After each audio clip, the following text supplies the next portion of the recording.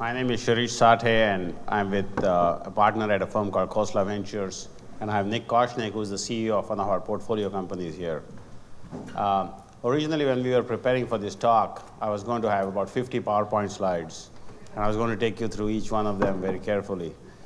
But then I figured it's you know five o'clock in the evening, and you've seen PowerPoint slides all day, so we're just going to do away with the slides and just tell you our story, if that's okay.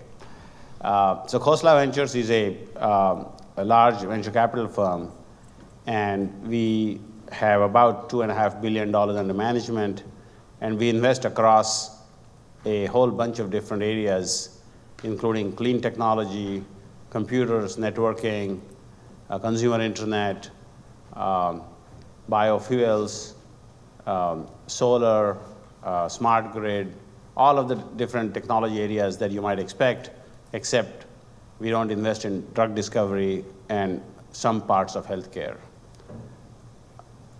One area that is of particular focus for us is agriculture, which is an area that has been largely ignored by venture capitalists on Sand Hill Road.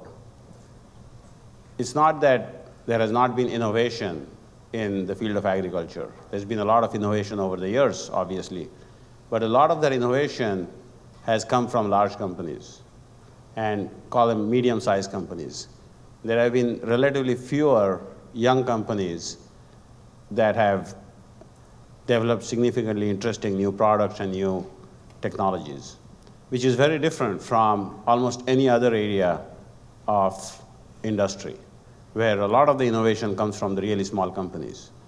And so we thought that um, agriculture is an area where we should focus on, mostly because we are contrarians, and we started seeing people such as Nick, who are one of the best technologists coming out of Stanford University, he'll give you his background. He could have done almost anything. But when people like him start thinking about agriculture companies, we get very interested. Um, in that sense, we are laggards. The entrepreneurs are the leaders, and we sort of follow them closely. Um, so I'll give you a flavor of a few of the companies that we have invested in, and then I'll turn it over to Nick, who's going to tell you a lot more about one particular company called Solum. Um, so we have invested in the field of agriculture in a company that sells climate insurance to farmers. Uh, it basically tells farmers that using a lot of uh, weather data and analyzing the data, it sells um, insurance to farmers where they say you, the weather on your right on your field in the next growing season is going to be specified in this way.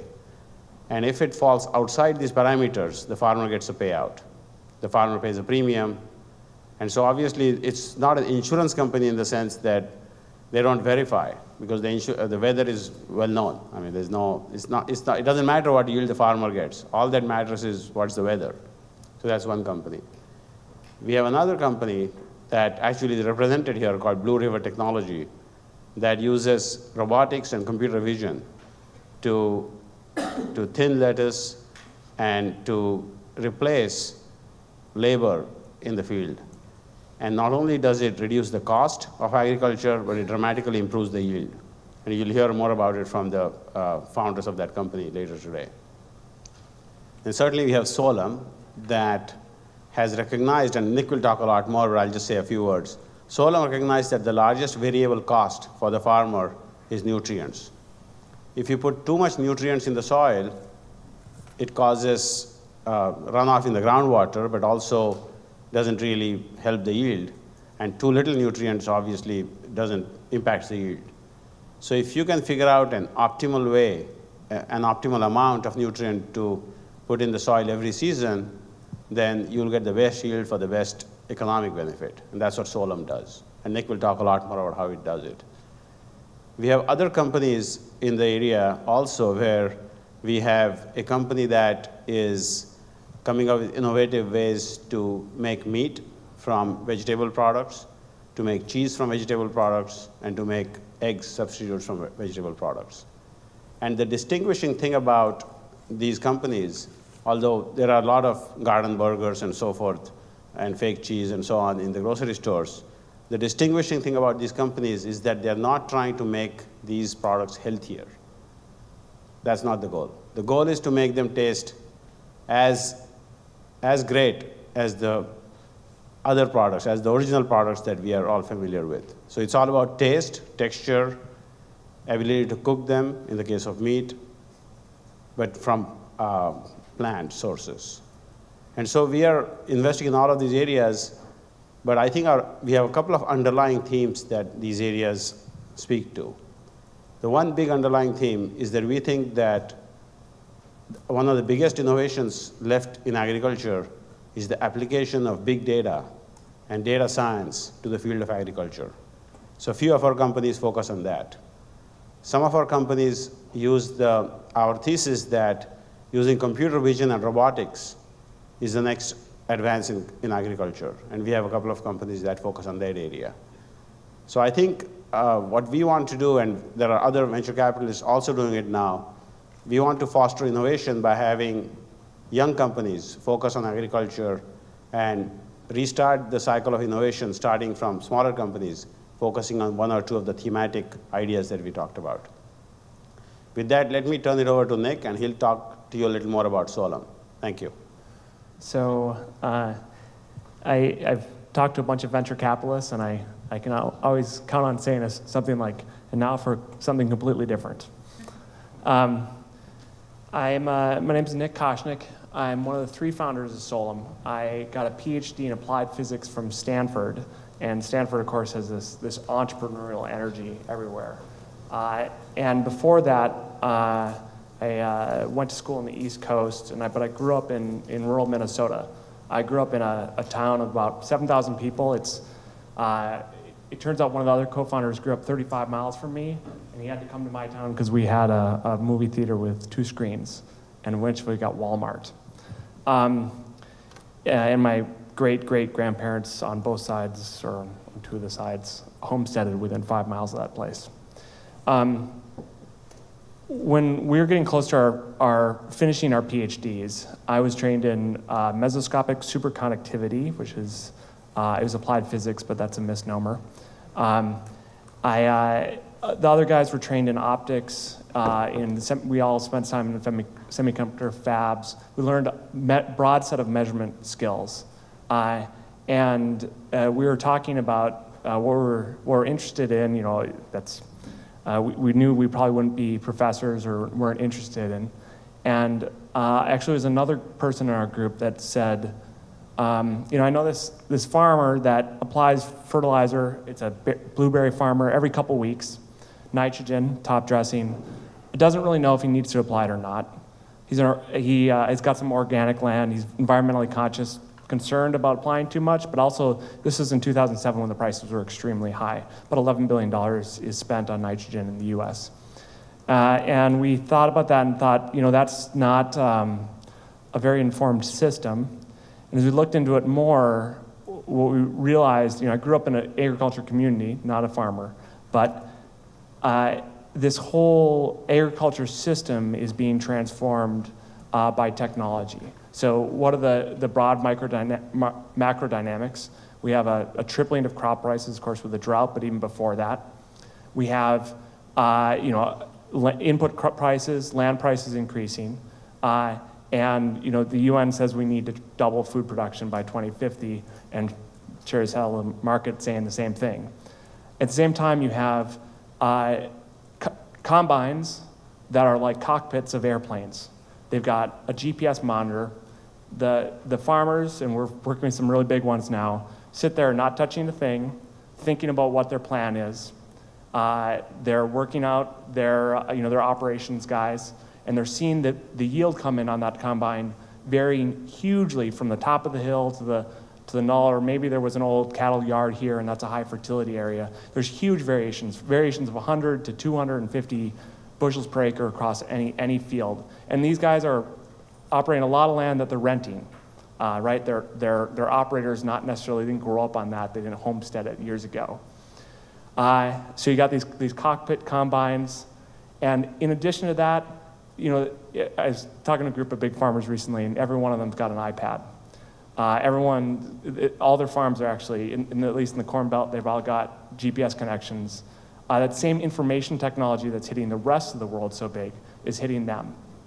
And it, maybe it's a little bit delayed, uh, but they've got a lot of uh, economics at stake. So go back to that, that initial, uh, that, that sort of founding point. Um, these guys are putting billions of dollars of fertilizer and they don't know. We realized that we could create better measurements to, to help inform that, where there's a real need for information in the system. So uh, I'll say just a real quick story of, of where our, our company is, where our technology is.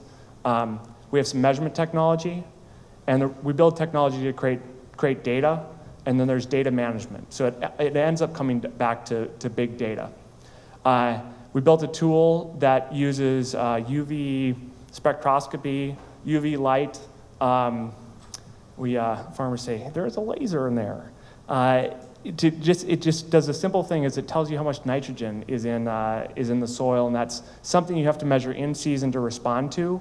Uh, and now they can go, they, we have some trailers out there. Uh, we sell these to consultants that uh, bring these to each farm. Uh, they get that answer and then they, they can respond if it's a drought or if it's a rainy year, and the rainy years, the, the stuff uh, runs off. Um, it, it, we extended that. Uh, that's pretty much what we did with our initial, our, our seeds or Series A, $2 million. Uh, we extended that to build a multi nutrient platform, which measures this wide set of nutrients. And this is moving towards big data. Um, it's a multivariable problem. You can imagine if you have soil, if you have piece, some land that has uh, very low pH, if it's acidic soil, uh, you, you, might have low nitrogen, but man, if it's acidic, the, the crop roots can't, can't be uh, active like they should, so you should address the pH problem first. Uh, similar, if there's no topsoil, uh, it doesn't matter if it has nitrogen or not. Uh, and so we have this high throughput multi nutrient platform. And what we've done there is um, we, we like to say we've got a foot in Silicon Valley and a foot in uh, agriculture in, you know, in the Midwest or in, in agriculture small communities. Uh, we've leveraged uh, the land grant universities, whether it's Davis or uh, University of Illinois, have put a bunch of research into agriculture, and that's completely petered off. Uh, those departments, like there's almost no soil fertility professors left. But all of that technology that they've thought about, it never got picked up because it didn't have the information technology landscape to support it. And so we've gone in there and we've taken what is a research standard, which is known as better way to predict, for instance, potassium, made that commercially feasible, uh, and then we can go sell that to uh, the, the service providers in the industry. Similarly, the way they measure texture right now, that's uh, the sandiness or the clay of the soil, they take, they take soil, they put it into a tube and shake it, and they watch how long it settles for four hours. Um, you can take a laser and shine it in there, and if it reflects, small particles kind of reflect more than big particles. And so, just in a big a snapshot, almost like taking a picture, you can see that same distribution. So, we're trying to work on technologies like that. Um, and we're trying, we're coupling, our business model is to give this to the, not to the farmers, but to the agronomists, the people that are providing agronomy information or decisions to all the farmers. It makes them better, it makes them better at what they do. They can offer something that's differentiated, and they charge per acre fees, and we can charge per acre fees every year based on that data.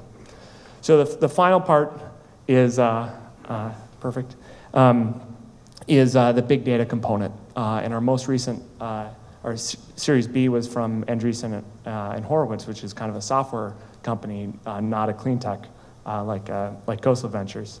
And it's a, great pair. We're really proud of it. Um, when we mentioned these cockpit controllers in, in combines or in tractors, they've, got, they've got all this information and they're increasingly coupled to iPads or, or iPhones.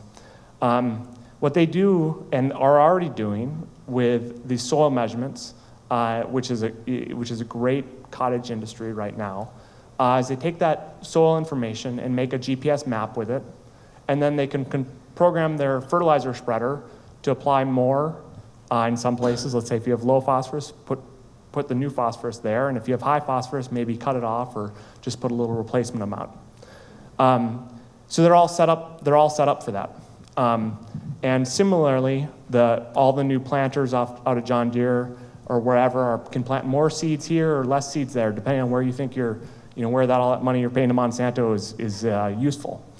Um, what we can do is make that easier to get them that information so they can download it directly from their phone into their, their combine rather than downloading it to some Windows 95 software. Or, um, there's actually some good software, and there's, there's obviously some, a wide variety. Um, and uh, so we can make it easier and partner with other couple companies to make it easier. Uh, but we can also eventually make rate files that they download that test their assumptions. So uh, if you've got the, the I, uh, Indiana, Michigan, and Ohio have what's called the tri-state recommendations. If you have this much phosphorus, apply this much. For a three-state area, I don't know if anyone's from the Midwest, but there's parts of Indiana that are a lot different from other parts of Indiana, let alone you know those parts of Ohio where they don't grow anything other than trees. Um, and so that the tri-state area, when were the tri-state recommendations made? Um, actually, I know I know that Indiana, the Illinois recommendations were made in about 1952, and the professors that are there can't remember the people who made them. Uh, it- it's you know you've you've lost almost two generations. So it, in a in a time when uh, yields have have tripled or doubled since that time at least, well maybe tripled. Uh, every input price has increased. Do you think it's time to test that assumption? Yes. Is there federal money? Maybe not. But on your farm, there's a high yielding and low yielding area. Maybe in that higher area, let's test a little higher phosphorus. Let's test a little lower uh, nitrogen, just in a small block, half acre block, and then share those yield files with us and learn every year from your farm. Uh, and that goes whether it's nutrients, which is obviously our primary play, which is the biggest cost, uh, but also the density of seed, the type of herbicide, et cetera. Um, John O'Farrell, our partner from Andreessen, wrote a little blog post where he said, you know, it's a, it's a virtuous cycle where it's going to be a, a smarter and better world. So that's, that's uh, we're starting with this thing that is as old as old can be, soil test, well, it's not as old as old can be, but it is just totally the base of all these agronomy decisions here or in Indonesia or in Brazil. Uh, any old agronomist will agree. Uh, and then we're building this information platform on top of it. It's a little story about us.